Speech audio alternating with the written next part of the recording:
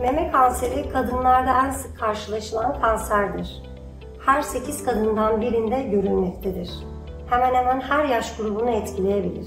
Meme kanseri dünyada en sık görülen 5 kanserden bir tanesi. Meme kanseri, mamografi, meme ultrasonu ve meme MR görüntüleme teknikleri ile henüz belirti vermeden erken teşhis edilebilmektedir.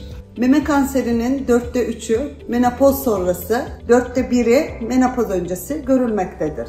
Ailesinde meme kanseri öyküsü olan kadınlar meme kanseri açısından yüksek risk grubundadır.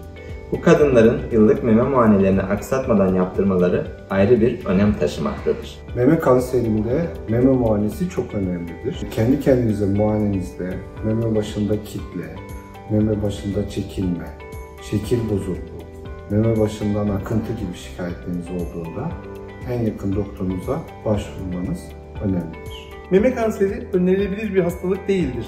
Ancak erken teşhis edildiğinde tamamen tedavi edilebilmektedir. Erken teşhis hayat kurtarır. Farkında ol, kontrolü bırakma.